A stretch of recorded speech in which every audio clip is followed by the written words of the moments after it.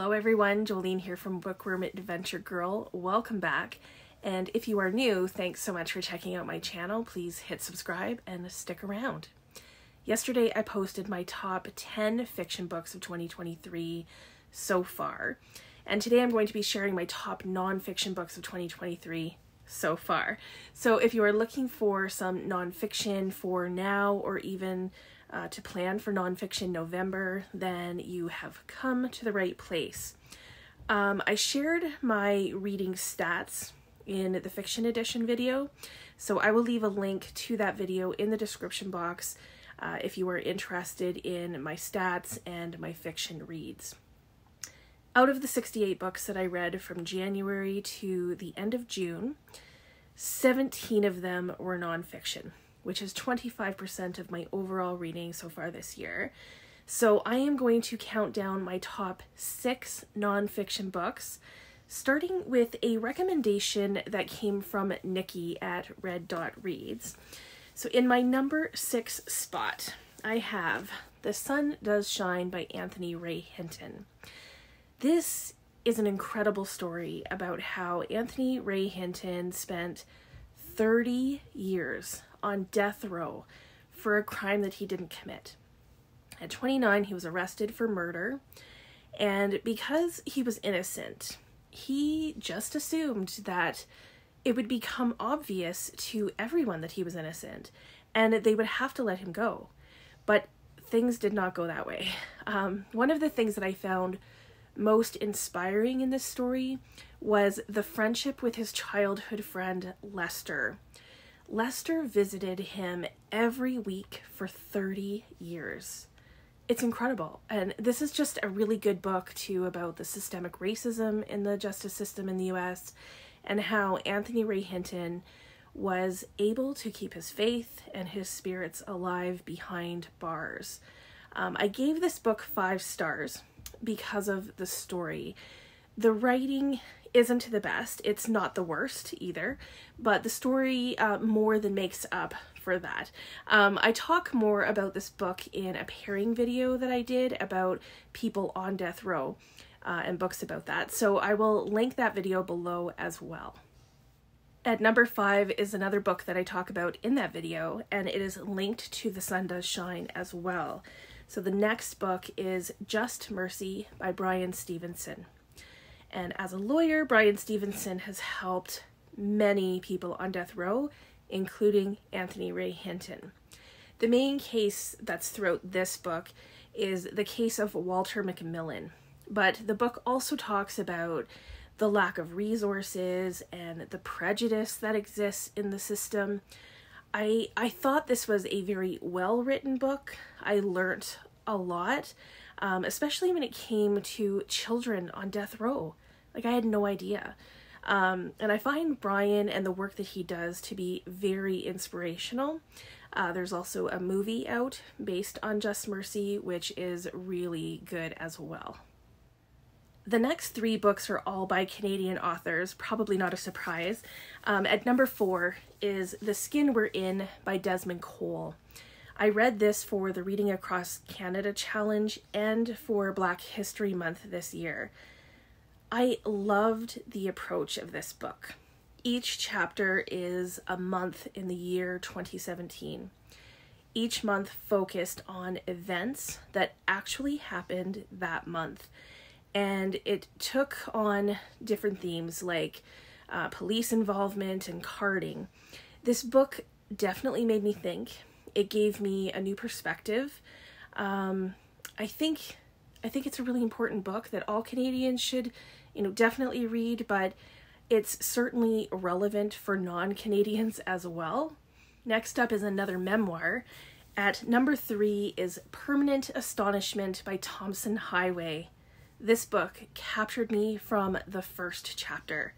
Tomson Highway is a Canadian icon, and he has an incredible story. It still amazes me at how many Canadians don't actually know who he is. Uh, Tomson is Two Spirit and was born the 11th of 12 children in northern Manitoba. He is a residential school survivor and he is well known for his talent as a musician and a writer, a playwright.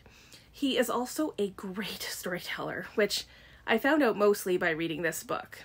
The book starts before Tomson is even born and before colonization. So you get a real sense of life in the North and the love of the land and the importance of community and relationships. Tomson and his siblings attended residential schools, and although Tomson doesn't really spend too much time, you know, dwelling on this, he is still honest about what happened there. Uh, the story ends when Tomson is still a teenager. So it really left me wanting to learn more, and I do have more of his books sitting on my shelf, so I will have to get to them uh, pretty soon. In the number two spot is another Indigenous memoir, Call Me Indian by Fred Sasakamoose. This is another book that I read for the Reading Across Canada Challenge. Uh, like Tomson Highway, Fred begins this story with his ancestors and what life was like before first contact with um, white people.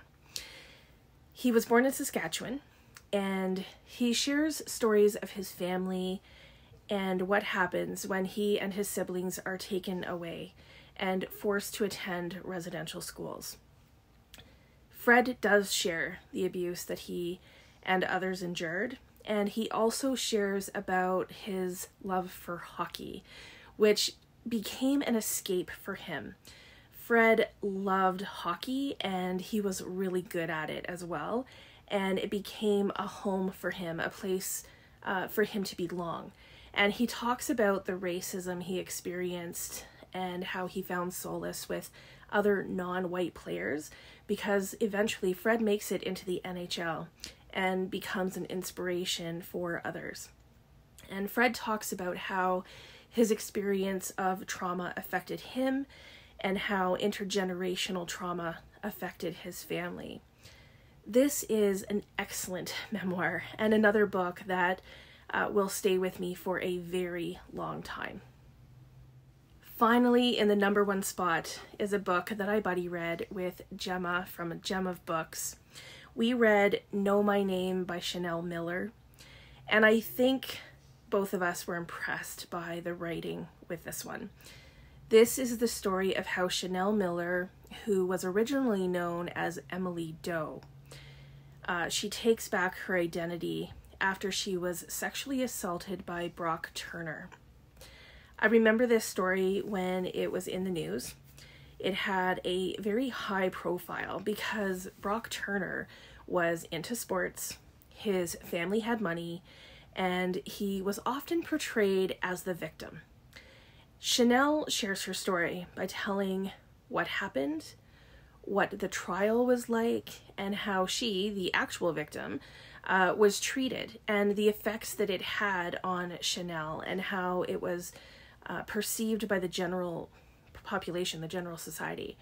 And what I remember being most impressed by in reading this was how Chanel was able to show her own growth and understanding of what had happened and what was happening.